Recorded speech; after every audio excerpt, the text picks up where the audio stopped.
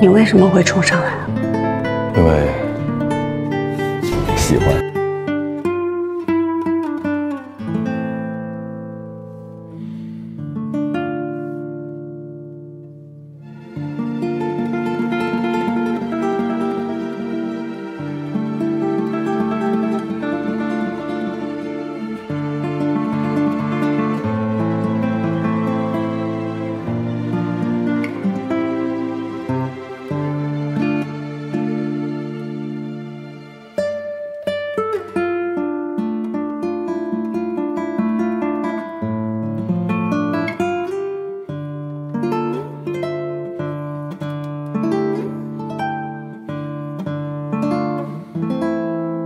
我最近发现你有一点点可爱，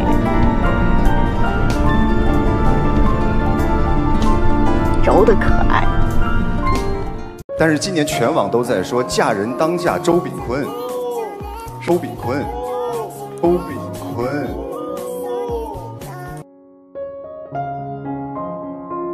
相信不少人看过《向风而行》后，都希望戏外的王凯和谭松韵与戏里的顾南亭和程潇一般。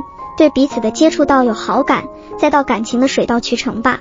两人恰到好处的八岁年龄差，以及二十厘米的身高差，追看了不得不说一句是天选的 CP。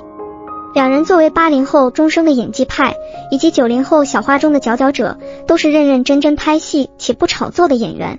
所以虽然向风而行的播出，两人都没有在戏外有炒 CP 的营业，但观众们看到花絮后，却是迟迟不能出坑。二零二一年年末拍摄到二零二二年年初杀青，这部剧也算是经历了正常的剪辑以及审核顺利上线。毕竟如今有很多剧都是因为一些不可抗拒因素导致几年都未播，所以一年时间里从杀青到播出，也仿佛是让王凯和谭松韵的联系不断。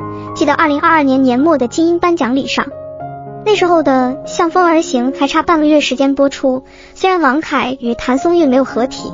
但也有细心的粉丝发现，明明王凯是在调侃雷佳音，可说到嫁人两个字的时候，却忍不住看向了两点钟方向的谭松韵，这样公然眉目传情，真的好吗？